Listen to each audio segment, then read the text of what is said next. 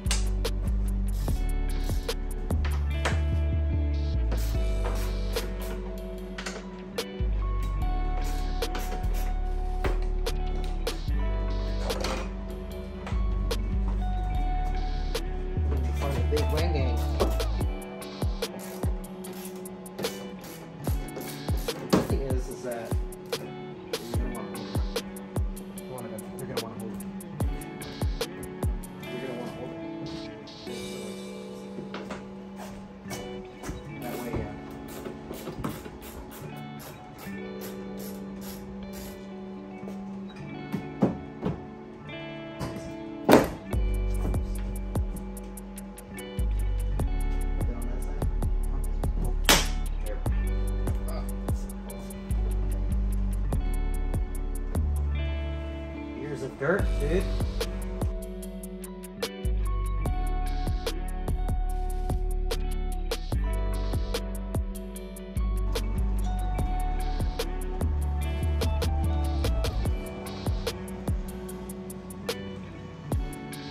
Something that goes together real easy. You know? But you're gonna have to. But at this point,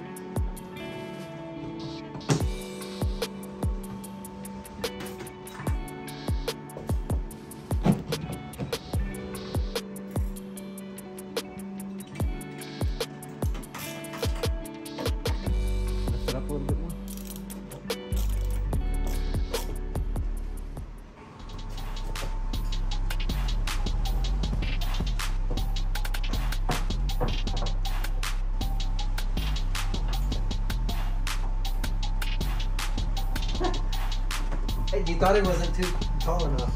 Oh, it looks good. I thought it'd be over the roof. Oh. yeah, I think yours has got it right now because it's raining. You'll have you'll have the advantage, trust me. My poor car, man. If it's raining, forget about it.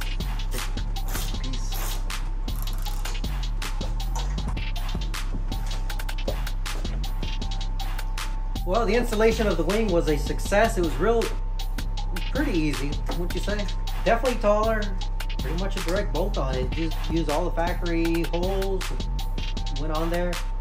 Good and sturdy and solid. Now we just gotta do some some rolling shots of this thing.